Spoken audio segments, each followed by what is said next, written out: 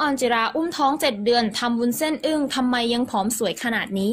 ขึ้นแท่นว่าที่คุณแม่แล้วจ้าสำหรับนักแสดงสาวแป้งออนจิราที่ก่อนหน้านี้เธอนั้นได้ประกาศตั้งครรภ์ลูกสาวคนแรกกับแฟนหนุ่มนักธุรกิจหนุ่มชาวต่างชาติ แต่ขอไม่เปิดเผยหน้า ซึ่งเคยเห็นว่าเป็นหมอดูหลายๆ คนทักว่า เออกระเริกมันไม่ค่อยดี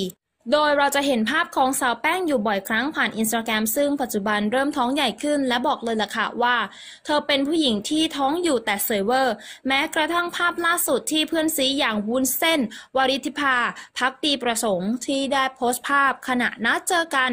มีสาวเมย์พิชญ์นาฏไปด้วยออกปากชมเลยว่า คุณแม่ข้างๆเจ็ดเดือนแล้วทำไมยังผอมสวยเหมือนไม่มีอะไรเกิดขึ้น